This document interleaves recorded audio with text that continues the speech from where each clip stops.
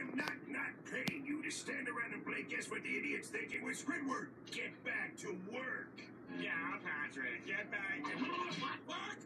Oh, no. No, no, no. But, Mr. Krabs, Wild the shivering of the timbers, Mr. Squidward. Mr. Krabs, this will not stand. you'll stay.